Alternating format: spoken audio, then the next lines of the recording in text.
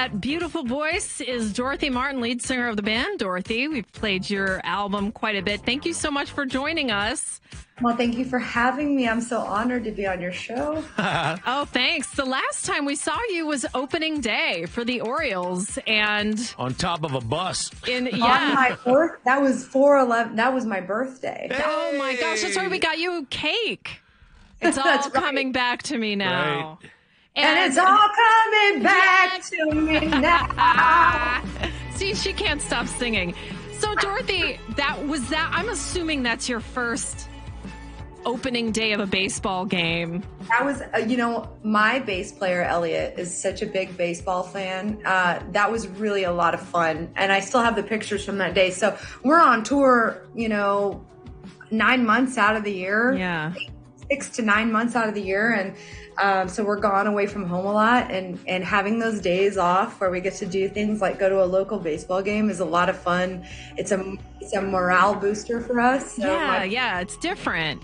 Is that the most unique venue you've ever been in, or ha- while you're out On promoting? Top of a bus? Uh, yeah, or is there like yeah. a state fair? You know, animal tent that you have to. You know, like what are some of the venues you've had to go to?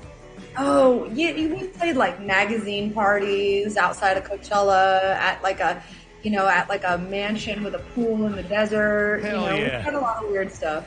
It's Kirk and Marianne. We're on with Dorothy, and your album "Gifts from the Holy Ghost" came yes. out in April, and we're playing Black Sheep. We'll play that in a, a few minutes. But what we were sort of I didn't realize that you had this acting thing in your background, and you've got a pretty nice IMDb list. Did you ever have to decide whether you might go towards acting, or maybe I should go toward music, or maybe do both?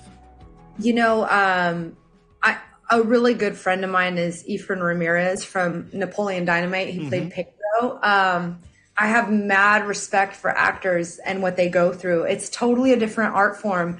And I do have a background in it to the point I, I like it, so I want to dabble in it, you know, but um, to the point where my music video director, Nick Peterson, and I are working on a script right now for wow. a short film. So he wrote this script for A Beautiful Life for the video. And we ended up not having the budget because this this treatment he turned in felt too big to do for a music video at the time. Um, and so we did this band performance, like live performance type video instead. And I said, hey, let's work on that script. Let's kind of develop it into this Buffy the Vampire Slayer, Jessica Jones character. And my manager, who uh, produced the movie about Motley Crue, um, oh. Chris Nilsson, he's like, you know what?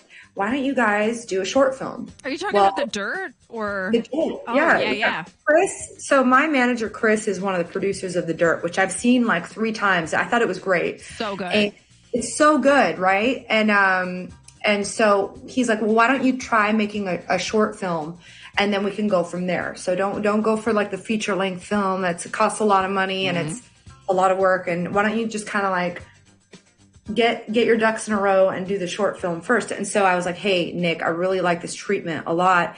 And this is this is my alter ego on stage. This is who i become in the studio when i'm singing. Like this is that hero version that i need to pull i need to pull from her strength when i'm out there doing that stuff because i'm just a human being. I'm you know i'm i'm what jessica jones is when she goes to bed at night she's like an alcoholic you know but she's a detective. She's a hero like she's all these cool things that she does that she doesn't feel worthy of. Wow. So I kind of relate to that story, and I was like, hey, this is this is a really great story. Can we make something? I know Allen Kovac's doing uh, Better Noise Films, and and they're making movies in the dirt and stuff. So mm, like, maybe Dorothy's next. If they can do it, I can do it, right? Absolutely. So, like, yeah. So I really like the script he gave me. She's a demon slayer. Basically, the I love it. I see it. I see it with you. And you're all the way in. It sounds like acting is definitely a big part of where you're going. Um, I, I, have dabbled in it. I've done some things. I've been exposed to it. The masters of their craft, though, like those actors that are like Tom Hardy and and really, hey, what's, what's up? They're like they're like really serious about their craft Yeah, we're talking to Dorothy. We're really excited. Dorothy Martin, lead I love the singer of shades Dorothy. too. She looks great. Yeah, and um, you do sort of seem to have to jump in with both feet for whatever you're doing. You know, like acting, like you're saying, you have to devote so much time and attention and blood, sweat, and tears. And it sounds like you're all in with this band, and touring is no joke. So I guess a short film is a great way to sort of dip your toe in the water. Yeah, you can put messages out there through music, uh, through lyrics, and through a story. So it's all it's all just different methods of art.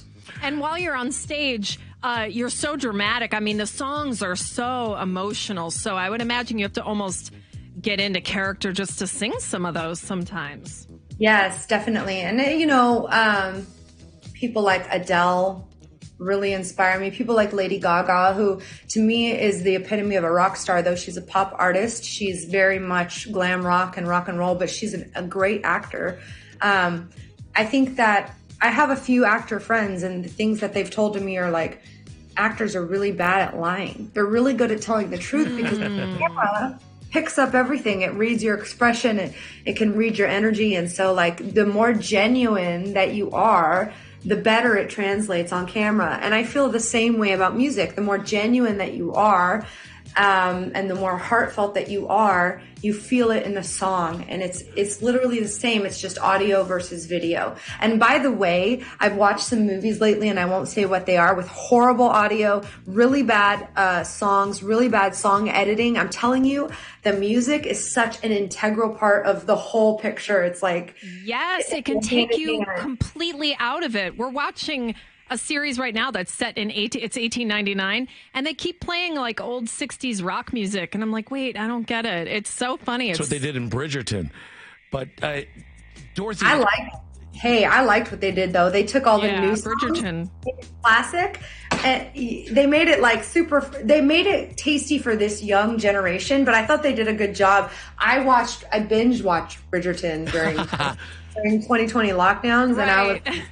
heartbroken and you and the rest of the world, yeah. and uh, yeah i got into it though I remember talking to you about Rest in Peace, and I was like, damn, it, it almost reminded me of Carrie Underwood, like before he cheats. You really deliver it, and it's chilling.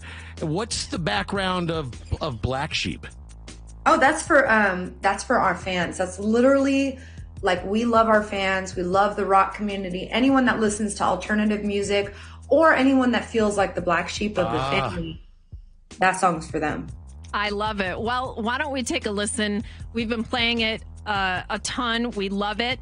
And we'll thank you so much for joining us. And we'll end there. Thank you, Dorothy. Dorothy. Thank you. Happy holidays. Happy Merry Christmas. Thanks. Dorothy. Here's Merry Dorothy, Christmas. Black Sheep.